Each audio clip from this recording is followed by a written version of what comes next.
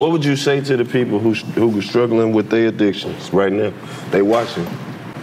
Well, I would say um, stand tall in your struggle and continue to struggle and don't give up. You know, um, my thing is I know you can turn it around. I'm, I'm currently doing a one man play called Michael Colyar's Mama, and I play 17 characters, and in this play, I go through my addiction. So you can see me getting fucked up.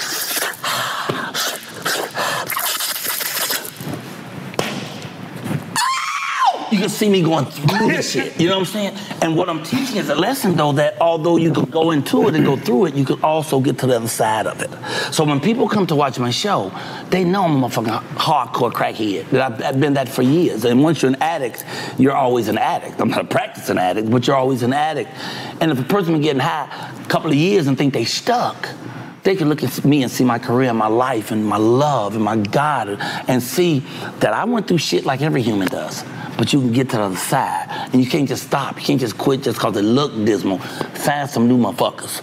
If you high and you can't get unhigh, get away from all the people you know. Get away from them motherfuckers. People, places, and things that have that drug you desire, get the fuck away from them. And find some wholesome people. If, if you're really struggling and you want, really want to stop struggling. Because a lot of people who are struggling, they say they're struggling, but they're happier there.